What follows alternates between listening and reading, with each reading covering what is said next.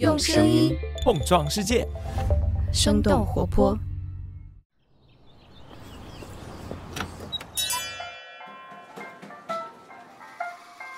您的生动早咖啡好了，请慢用。嗨，早上好呀！今天是二零二二年的十月三十一号，星期一。这里是生动早咖啡，我是来自生动活泼的梦一，几条商业科技轻解读，和你打开全新的一天。在今年十月初的韩国釜山电影节上，导演陈可辛宣布，他将成立自己的泛亚洲影视制作公司 Changing Pictures。他的目标是成为独立而且强大的流媒体内容制作中心，拍出全世界都能看的中文剧。他们计划在头四年制作五部剧集，目前已经签约了指导《灵媒》等等影片的新锐泰国导演，还将分别和章子怡和甄子丹合作。长期以来，陈可辛可以算得上是华语电影行业风向标级的人物。编剧史航曾经评价他是少有的商业和文艺表达以及时代社会感全都想要，并且真的能够平衡好的人。这一次，陈可辛成立新公司的消息已经宣布，就迅速得到了广泛的关注。那么，陈可辛所说的泛亚洲制作又是一种什么样的模式？他为什么会选择这种方式？在制作的过程当中，又可能会面临哪些挑战呢？我们今天的精解读就与此相关。在这之前，我们先来关注几条简短的商业科技动态。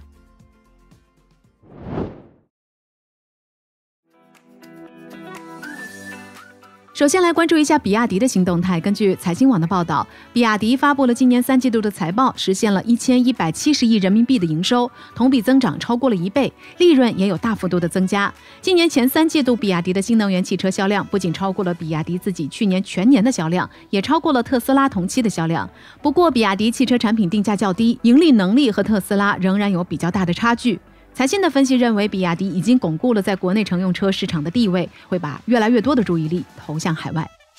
接下来，我们把目光转向国外，看看马斯克收购 Twitter 的最新消息。在经历了半年充满戏剧性的波折之后，马斯克终于完成了对 Twitter 的收购。上周，马斯克在社交媒体上发布了一段自己抱着水槽走进 Twitter 总部的视频，并且配文表示 “Let us sink in”，也就是“你品，你仔细品”的意思。根据《纽约时报》的报道，马斯克在上周四用四百四十亿美元完成了对推特收购的交割。推特的股票从上周五开始暂停交易，并且将会在十一月八号之前完成私有化。马斯克在入主推特之后，先后解雇了 CEO 帕拉格阿格拉瓦尔、CFO 内德西格尔和法务政策主管维贾亚盖德。不过，Twitter 向美国证券交易委员会披露的文件显示，马斯克需要向 Twitter 被解雇的高管支付总计超过两亿美元的补偿。同时，《纽约时报》的报道显示，马斯克已经下令在整个公司范围内进行裁员。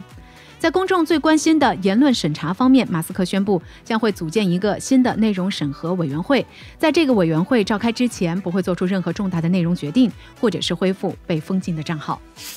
下面关注一下苹果最新的财报。美国东部时间十月二十七号，苹果公司发布了他们今年三季度的财报。和硅谷其他几家巨头相比，苹果算是交出了一份还不错的成绩单，在总营收和盈利方面都高出了市场预期。在这份财报发布之后，苹果当天的股价也大涨了百分之七点五，创下了二零二零年四月以来的最大单日涨幅。具体来看，今年前三季度，苹果总营收超过了九百亿美元，同比增长百分之八点一，净利润超过了二百亿美元，创下了同期净利润新高。其中，iPhone 仍然是苹果最大的销售来源。iPhone 十四虽然表现默默无闻，但是 Pro 版本却大受欢迎，也因此抬高了手机业务的销售额。另外，Mac 的收入同比上涨超过了百分之二十五，是这份财报当中为数不多的亮点。而受人关注的软件服务业务，在今年前三季度的表现却不尽如人意。苹果方面表示，这部分收入的减速源于外汇的影响，以及数字广告和游戏业务的放缓。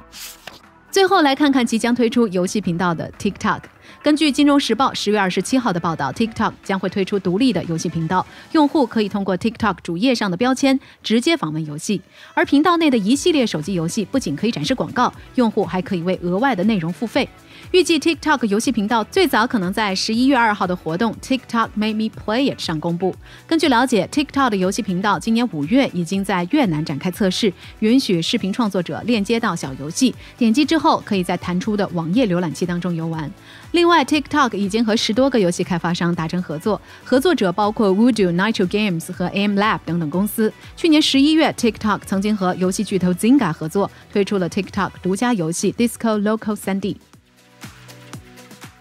以上就是值得你关注的几条商业科技动态，别走开，我们马上和你一起来聊聊陈可辛的泛亚洲制作到底是一种什么样的模式。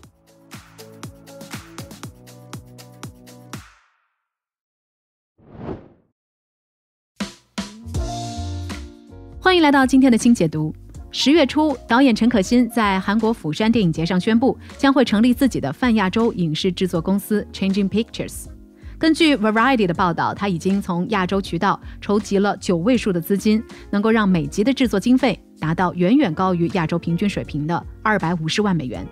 在预算的支持之下，公司将会专注于拍摄版权剧，也就是制作完成之后再卖给流媒体平台，而不是平台投钱定制的剧集。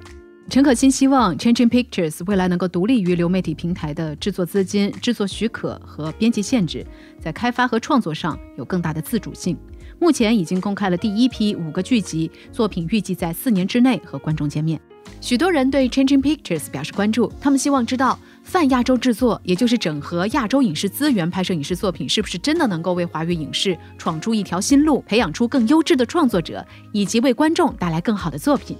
不过，除了新公司之外，陈可辛本人也是这件事情被寄予厚望的原因。他在九十年代就提出了泛亚洲计划，并且在二零零零年成立了 Applause Pictures 制作公司，和亚洲各地区的导演以及团队合作。其中的三更系列让中国香港、韩国和日本的电影人合拍同一个主题的电影，开创了亚洲电影的先河。二十多年之后的今天，陈可辛想要再用泛亚洲的制作理念继续自己对于电影的追求。那么他为什么要这样做？除了内地市场的因素之外，亚洲影视行业的创作环境在近几年发生了什么改变吗？变化之一，本土市场以外的观众越来越多。当奉俊昊导演凭借着《寄生虫》获得了2020年金球奖的时候，他在致辞中对海外观众说道：“只要跨越那一寸高字幕的障碍，就能够享受更多的好电影。”在随后的两年时间里，由于游戏、逃兵追击令等等剧集，也推动着韩国的影视作品在全球范围内进一步的走红。观众们比以前更愿意跨过字幕带来的限制，拥抱甚至是渴望亚洲内容。日剧、泰剧和台剧虽然在规模上不及韩剧，但是也在近几年来获得了更多本土市场外的观众。从另一个角度来看，近年来一系列亚洲作品的成功，也体现了亚洲的创作者逐渐找到在本土市场之外走红的方法，而亚洲的电影工业也具备了实现这些想法的实力。对于海外，尤其是西方观众来说，亚洲影片不再是只能在电影节上出彩的东方来客，也不仅仅局限于武打片、文艺片的刻板印象。一些作品已经成为了合家欢电影，甚至是一种新潮流的符号。不仅在受众的数量上迅速增加，还能够向流媒体订阅、衍生产品等等商业价值上转化。变化之二，流媒体需要优质的亚洲内容。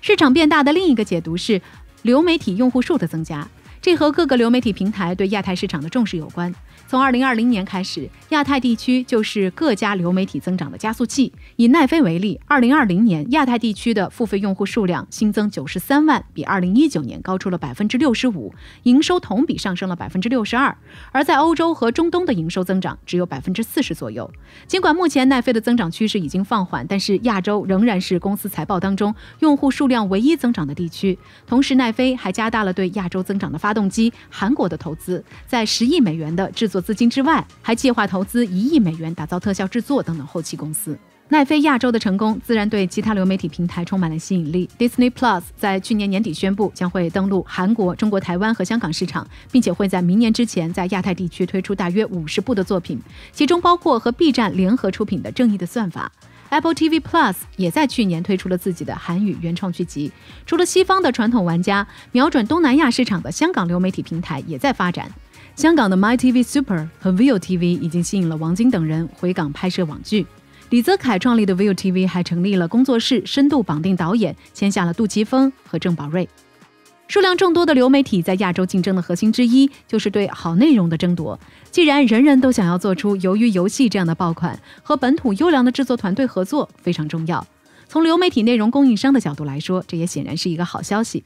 变化之三，创作者认可流媒体平台的价值。在二零一七年一个主题为“工匠精神”的论坛上，陈可辛曾经和北京大学电影与文化研究中心主任戴锦华就为流媒体拍电影这件事情有过激烈的讨论。戴锦华认为，失去影院等于丧失了电影，到时候就可以宣布电影的死亡。而陈可辛的观点是，内容比载体更加重要。当年轻人投身网络的时候，电影创作者应该与时俱进。五年的时间过去了，随着流媒体和影视行业的合作不断深入，许多原本对于流媒体小屏幕抱着谨慎甚至是排斥态度的创作者，也逐渐认可了流媒体的价值。一方面，流媒体播放脱离了影院的空间限制，能够为创作者提供更大的空间。此前，美国导演马丁斯科塞斯的电影《爱尔兰人》由于不愿意妥协三个半小时的时长，项目在好莱坞多次被拒，最终通过奈飞才和观众见面。和爱尔兰人的遭遇类似，陈可辛这次通过新公司和章子怡合作，时长大约四个小时的《降元弄杀夫案》也曾经在2016年短暂启动过，但是最终还是没有得到院线投资方的支持。另一方面，流媒体平台作为成熟的国际发行商，摆脱了院线发行过程中的干扰因素。在陈可辛看来，电影已经不再是面向普通观众的盈利模式，发行、排片等等环节被太多的资本绑架，加上大数据的使用，观众能够见到的电影只会向某一特定的类型倾斜。这也让一些影视工作者忽视作品的质量，选择以数量盈利。而流媒体的发行过程比较简单直接，这对于创作者的工作和盈利模式都更加的友好。相比于二十多年前，陈可辛这一次泛亚洲制作的尝试，在上游具备了更强大的制作能力，在下游打通了更加国际化的发行和市场，创作环境也有了很大的进步。不过，参考之前流媒体在亚洲一些项目的表现，也可以看出，陈可辛想要跑通这个制作模式，还会面临相当大的挑战。首先，作为专注版权剧的制作公司，要在没有流媒体和电视台做靠山的情况下，在前期投入大量的资金，并且为此承担较大的风险。为了卖出一个好价钱，公司在保证团队和作品高质量的同时，还需要权衡观众和流媒体平台的喜好。此前，演员贾静雯曾经投资一点二亿台币，大约是两千七百万人民币，制作了台剧《妈别闹了》。然而，在剧集杀青之后，一直和各家流媒体谈不拢价格，最终制作方只能以亏损七百万的代价，以十集大约两千万人民币的价格将剧集卖给了奈飞。在这种不确定的情况下，能否吸引到好资源也是一个问题。好资源需要得到国际资本的认可，而一个创作者在本土市场上的影响力，往往不能直接转化为国际融资的能力。比如说，《少年的你》这部电影的编剧许月珍就一直在寻求国外流媒体出售剧本，但是始终没有进一步的消息。另外，流媒体在许多地区和电视台也是处于竞争状态，这就要求演员在两者之间去做取舍。奈飞在亚洲区大热的日剧《全裸监督》的两位主演，不仅没有吃到剧集的红利，而且还丢掉了不少日本传统电视台的资源。最后，韩剧的走红能否被复制，还需要打一个问号。陈可辛在采访当中曾经说过，韩剧现在全世界都在看，那为什么不看中文剧呢？许多人认为这个提问过于简单，忽视了韩流在欧美耕耘几十年的背景。比如说，由于游戏当中运动服、糖饼等等符号，其实早就通过综艺等等方式被特定的受众所熟悉。做出全世界都看的华语片，是需要花时间找到更适合自己的传播语境的。那聊到这儿了，我们很想来问问你，上一次你走进电影院是在什么时候呢？你会看好陈可辛这一次的尝试吗？欢迎你在我们的评论区和我们一块儿来聊聊。那这就是我们今天的生动早咖啡，我们在这周三一早再见，拜拜。这就是今天为你准备的生动早咖啡，希望能给你带来一整天的能量。如果你喜欢我们的节目，欢迎你分享给更多的朋友，这会对我们非常有帮助。同时，你也可以在公众号和微博搜索“生动活泼”，声是声音的声，这样就可以了解更多与我们节目相关的信息啦。生动早咖啡，期待与你下次再见。